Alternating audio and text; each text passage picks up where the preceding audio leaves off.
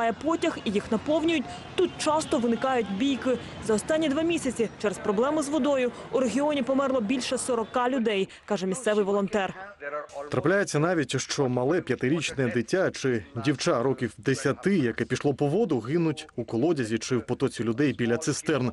Тут кожен день і ніч бореться за воду.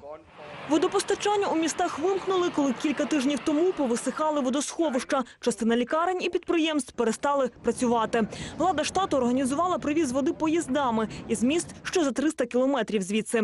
Посуха в регіоні проблема не нова. Торік у штаті Махараштра зафіксували найбільшу за десятиліття кількість суїцидів. Тисячі фермерів вкоротили собі життя.